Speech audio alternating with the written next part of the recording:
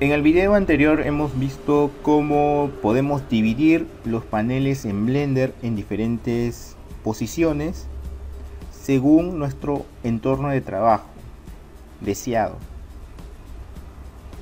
Según el entorno de trabajo que nosotros deseamos en ese momento. Ahora vamos a aprender cosas fundamentales como seleccionar objetos y tener las vistas.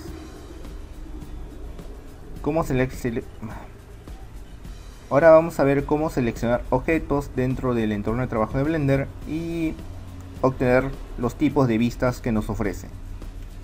Para seleccionar un objeto hay que identificarlo que cada vez que un objeto está seleccionado sale un borde anaranjado alrededor de él. Por ejemplo, en este caso el cubo está seleccionado.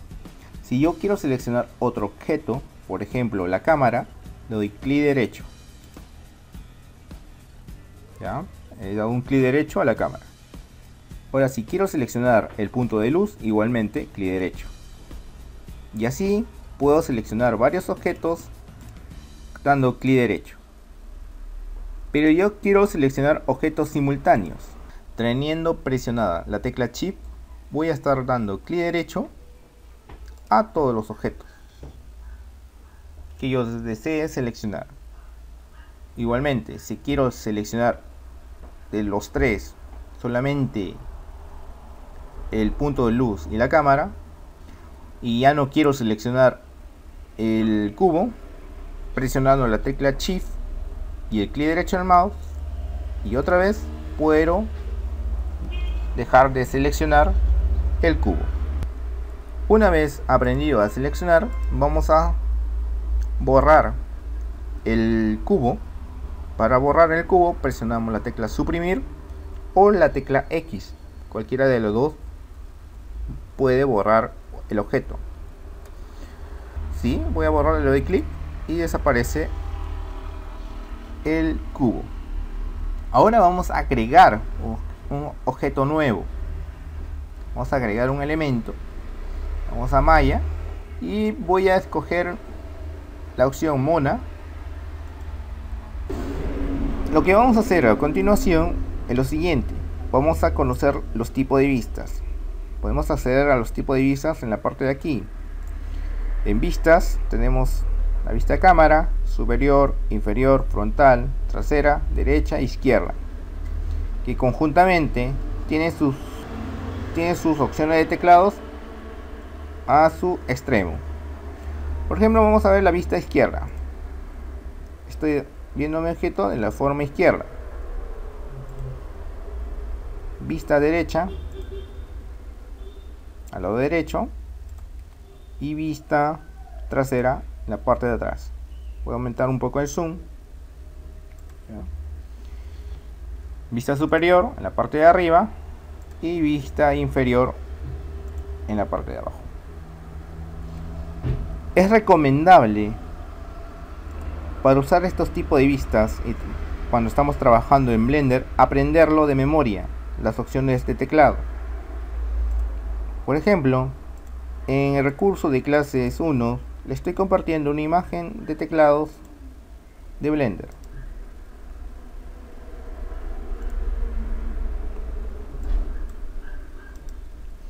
una imagen de teclado de Blender que es la siguiente. Tenemos que aprender esto. Es las mismas opciones que estamos viendo aquí en vistas. Vista frontal. El 3 era la vista izquierda si no me equivoco. Perdón derecha. Derecha, arriba. Estas son las tres vistas que podemos usar con el teclado. También tenemos la vista 4, la vista 6, la vista 8 y el 2 que sirve para girar. Y la vista 5 que permite cambiar entre octagonal y perspectiva. A ver, vamos a hacerlo esta vez con el teclado. Pero, ¿qué pasa? ¿Qué pasa si ahorita en estos momentos yo estoy trabajando en una lacto?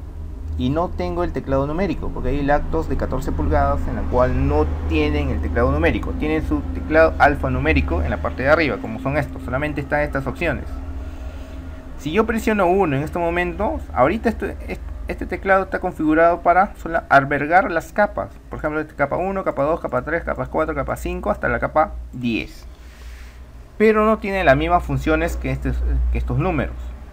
Lo que puedo hacer para trabajar con estas funciones, ya que no voy a usar mucho las capas, porque es innecesario, eh, para mí sobre todo, lo que me importa a mí es usar estas opciones, que son más rápidas al momento de trabajar con vistas. Para eso vamos a hacer lo siguiente. Antes de seguir trabajando, vamos a menú archivo, solo para aquellos que tienen teclado, perdón, solamente para aquellos que no tienen el teclado numérico. ¿Ya? Vamos a hacer esta opción. Aquellos que tienen una PC con teclado numérico y una lacto con teclado numérico no es necesario. Solamente aquellas personas que no poseen el teclado numérico. Vamos a hacer lo siguiente.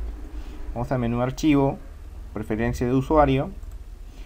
En esa opción vamos a ir a la opción entrada. Y en la opción entradas, en esta parte, vamos a seleccionar emular teclado numérico marcamos la opción emular teclado numérico y le damos guardar preferencia de usuario. Una vez.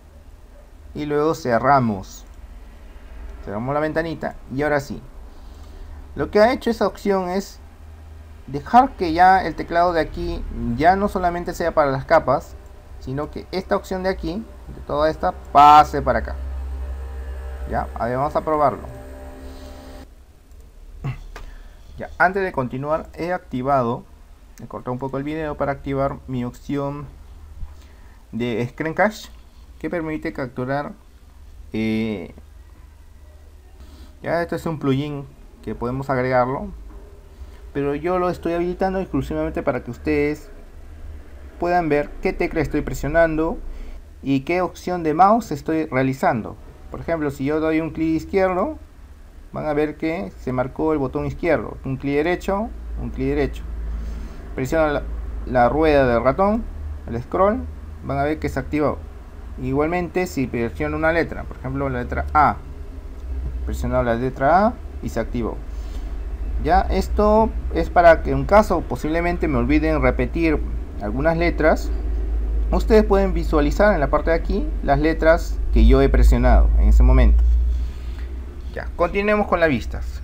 Como he, como he mencionado, eh, esta configuración de este teclado pasó a estar en la configuración en la parte de arriba al momento de, de emular el teclado numérico.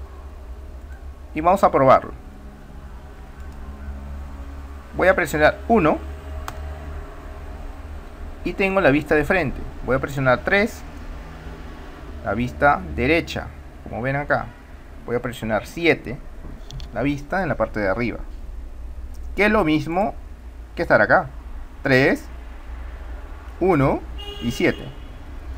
La vista presiono 0 para ver la vista de cámara. Y presiono 1 nuevamente para ver la vista frontal. Ya, es lo mismo que, hemos, que están acá.